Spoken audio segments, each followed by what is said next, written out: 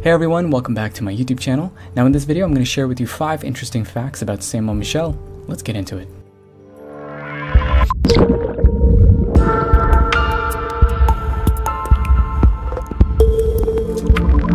Fact number one, the inception of this beautiful Gothic Benedictine church came from the Bishop of Avranches. He has this vision where he sees the Archangel Michael, who orders him to build a sanctuary on this rocky islet. And I'm really glad I took a picture of this sculpture because it describes the moment of inception of this church in 708. So the bishop has this vision of the Archangel Michael, he ignores it, the Archangel comes back, and then he finally pokes him in his head and burns a hole in his skull. And that's when the bishop goes, okay, I gotta make this happen. So fact number two, this castle is surrounded by mud flats and tides that are actually one of the fastest rising tides in all of Europe. So it's advised not to go out here.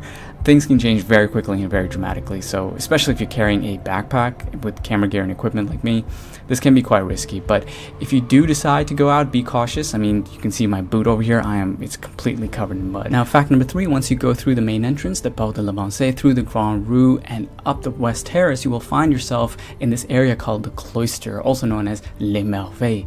And this over here is a rectangular gallery with no roof, so the clergy and the priests can get some air, some exercise, and it's also a place for prayer and meditation.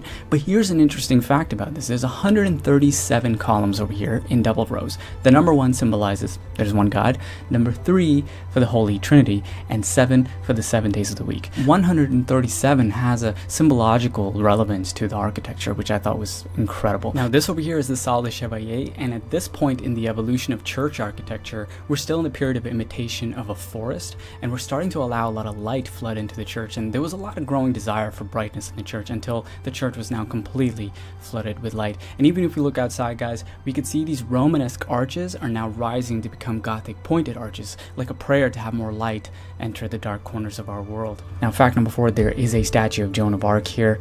After the French Revolution, she became a national symbol for France. She played a very important role in the Hundred Years' War between England and France, especially in the Siege of Orleans. And unfortunately, she was caught. She was tried on 70 different charges by a pro English bishop, and she was burned at the stake. She was officially martyred at the age of 19. It's an incredible story. She, it's just, I might just do a separate video on her, but she is now formally canonized as a saint by the Roman Catholic Church. Now, fact number five the culinary special at Le Mont Michel are omelets. These are world famous omelets and they are whipped until they are frothy and light. They cook it right in front of you over here. And they also have salt marsh lamb, I know the présalé. Also the crepes here are incredible, so make sure you try that as well. The innkeepers with their omelets, countless postcards, Bavon pottery, Villedieu leather, religious pictures, Code de Montre, silver gilt trinkets and medals. They have all kinds of medieval artwork and this is a lot of incredible things here guys. I'm just blown away by this whole experience over here. Anyway guys, I hope you enjoyed this video. I definitely had a good time making it and I learned so much from this experience. And uh, yeah, I'll see you in the next one. Take care guys.